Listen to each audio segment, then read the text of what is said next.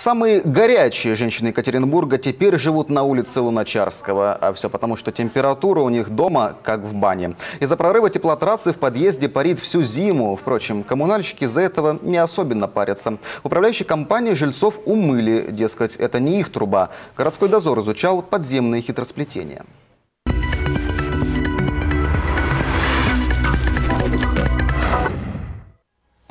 Из-за постоянных протечек горячей воды в подвале подъезд этого дома превратился в сауну. Но поскольку аварию устранять не торопятся, пар уже добрался и до квартир.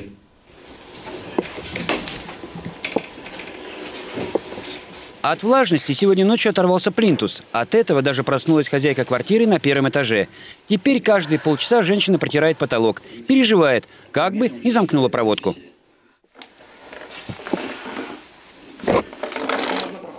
Коммунальщики, возмущается Алла Нарцизовна, поначалу обещали устранить аварию, а потом откровенно умыли руки и сказали не париться.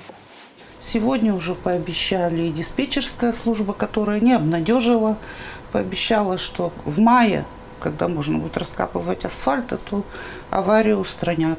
Красота бог с ней, боюсь за электроэнергию, за замыкание. Ну, на что мне сказали, что тогда не включайте свет. Соседу сверху сообщили в жилконторе, что отношения к парилке не имеют. Оказывается, сауна в подвале. Через него проходит транзитная труба с горячей водой. И эта труба имеет э, ряд дефектов.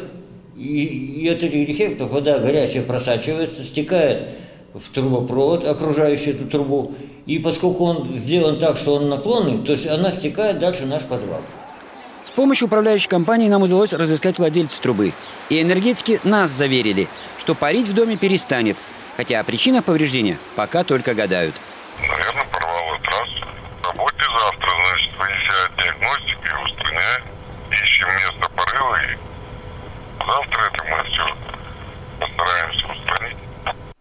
Вот только жители эти слова не убедили. Сыты, говорят, по горло подобными завтраками. Поэтому ситуацию с устранением аварии до тех пор, пока ее не ликвидируют, мы берем под свой контроль. Юрий Шумков, Андрей Снопиков, Городской дозор.